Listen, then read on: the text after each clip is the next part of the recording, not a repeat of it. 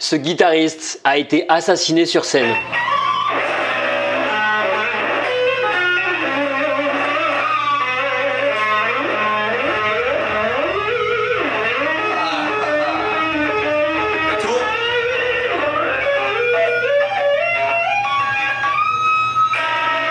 Il s'agit de Dimebag Darrell, l'ancien guitariste de Pantera. Le guitariste de 38 ans était connu comme un guitariste expressif. Il a apporté la dynamique fluide de la technique d'Eddie Van Halen au groupe de groove metal Pantera. C'est l'un des 10 meilleurs groupes de heavy metal de tous les temps selon le site internet AllMusic. À cause de conflits, le groupe se sépare en 2003. Et l'année suivante, Dimebag Darrell est tué par balle alors qu'il était sur scène lors d'un concert avec son nouveau groupe Damage Plane. La raison de cet assassinat, c'est qu'un fan du groupe de Pantera n'avait pas apprécié la séparation du groupe. Il a donc décidé de faire sa propre justice en assassinant notre guitariste bien-aimé Dimebag Darrell, élu par le Rolling Stone Magazine comme l'un des 100 meilleurs guitaristes de tous les temps.